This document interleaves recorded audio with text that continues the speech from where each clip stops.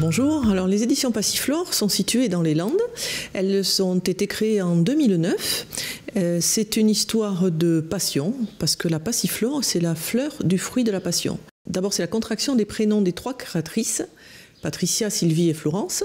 Et puis, on avait envie d'associer notre image à euh, cette, cette fleur qui est à la fois tenace et pacifiante. Tenace, on a beaucoup de, de, volonté, d'énergie, beaucoup de travail pour pouvoir euh, déjà exister depuis 12 ans. Et puis également euh, pacifiante parce que nous avons envie de véhiculer des valeurs qui vont dans ce sens. Notre maison a démarré très lentement, un livre, puis un autre, puis un troisième.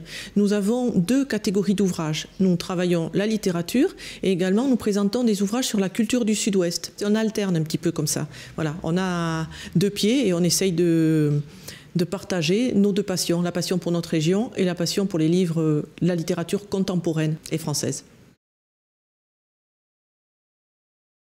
Je n'ai pas de coup de cœur, je vais vous décevoir. Quand je fais des conférences un petit peu pour expliquer ce qu'est le métier d'éditeur, j'attache beaucoup d'importance au mot maison. Il n'y a pas beaucoup d'entreprises, on dit une boucherie, on dit un cabinet d'avocat, on dit une librairie, mais on ne dit pas une société d'édition, on dit une maison d'édition. Pour moi, c'est un hasard.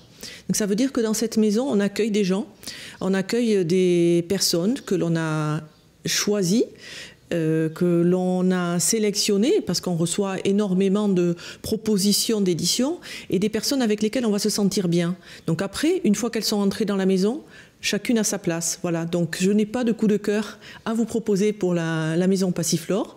J'ai simplement à vous proposer d'ouvrir notre catalogue, voilà, que voici, ou d'aller sur notre site www.édition-passiflore.com et d'aller regarder chaque livre à sa place. Chaque livre est présenté avec une vidéo, avec un extrait, avec des réactions de lecteurs. On essaie de le faire le plus en détail possible pour que vous ayez une idée plus précise de ce qui vous attire d'un premier coup d'œil et que vous ayez envie d'aller plus loin.